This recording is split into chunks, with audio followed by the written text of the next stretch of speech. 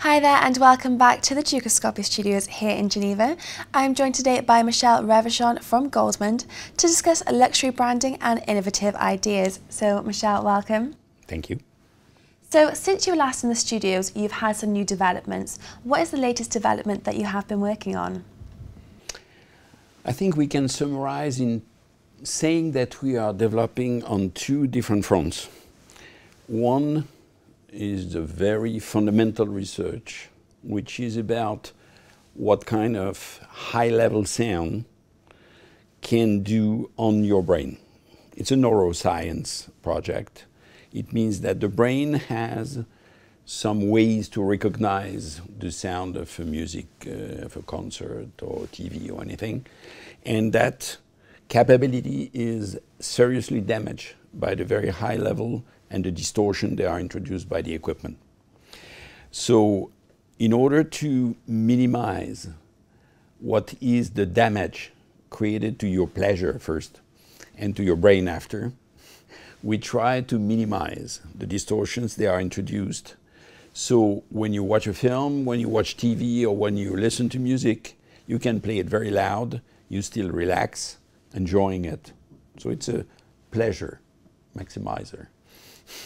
And that's very important in the long term because, you know, with the uh, iPod effect on the young generation, uh, people are listening more and more to very high level music and uh, there is a clear, uh, noticeable effect on their listening capability with aging. So we try to work with the neuroscience experts to enjoy better what you listen to and in the same time minimize the damage which is made to the ear and the, and the brain. And you mentioned another idea that you've got going on. The second subject where we're working harder and harder is about how to include music, film, TV, everything which is audio video in a house for people they have beautiful houses and they don't want to see it too much. So typically we call that the wife acceptance factor. And you know, women complain that the systems that the husband is installing in their living room is impossible. Uh, they have plenty of equipment, plenty of cables and things like that. And the technology is about making all of that disappear. Uh, going into the walls, going into nothing. uh, how to make the final rooms that those people can have with beautiful decoration and everything absolutely not showing you know the audio or video equipment that's probably the two most interesting research at the time. Absolutely. So, and finally as well, Japan's economy is hobbling out of a recession, but despite this, in March of 2015, sales of luxury goods actually went up. That's correct. So, do you believe that luxury brands like yours is recession proof? I'm not sure we are a luxury brand yet. We're still a very small company, but we have managed to completely ignore recession uh, or expansion or anything like that by just manipulating, you know, the company business model in a way to compensate for the variations. So that's possible for a small company. That's less possible for a large company, of course.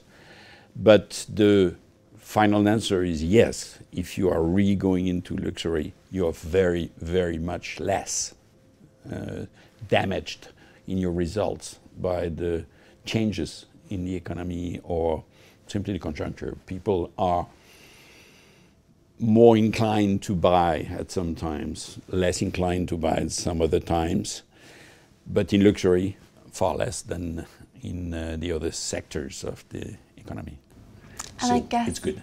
It can be linked to your developments as well in your company that other small, lower priced items aren't developing as such.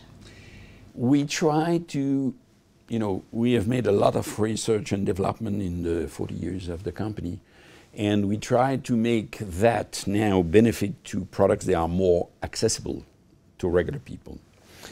But when you do that, you increase the numbers of the production that you make. So you're less and less luxury and more and more conveniences.